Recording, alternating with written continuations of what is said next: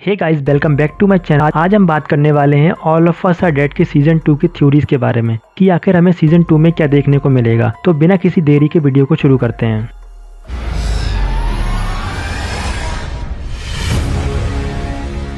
All of us are एक zombie thriller Korean show है, जिसके सीज़न टू से रिलेटेड सबसे पहले जो थ्योरी निकल के आती है, उसके अकॉर्डिंग सीज़न टू में हमें च्योंगसान का रिटर्न देखने को मिल सकता है, और नामरा की तरह वो भी एक खाम भी बन चुका होगा, क्योंकि सीज़न वन में हमें उसे पूरी तरह से जॉम्बी बनते हुए नहीं देखा था, जिसकी वजह से इस स्टोरी के सच होने के काफ़ी चांसेस हैं। दूसरी थ्योरी के अकॉर्डिंग सीज़न टू में हमें good halfbies and evil halfbies के बीच में वॉर देखने को मिल सकती है। इसमें गुड हाफबीज की टीम में नामरा चिंगसान एंड बाकी के और भी हाफबीज हो सकते हैं। जिन्हें सीज़न वन में हमें नहीं दिखाया था। वहीं दूसरी साइड ईविल हाफबीज में Gwinam Yoonji and science teacher Lee Byeongchan देखने को मिल सकते हैं।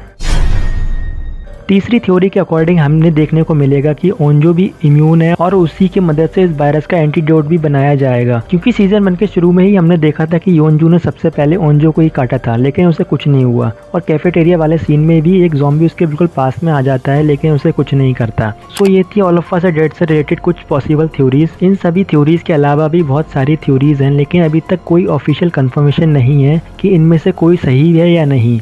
उम्मीद है आपको ये वीडियो पसंद आई होगी। अगर आपको कोई भी इंटरेस्टिंग थ्योरी पता है तो कमेंट करके ज़रूर बताना। और ऐसी ही मज़ेदार वीडियोज़ के लिए चैनल को सब्सक्राइब एंड वीडियो को एक लाइक ज़रूर कीजिए।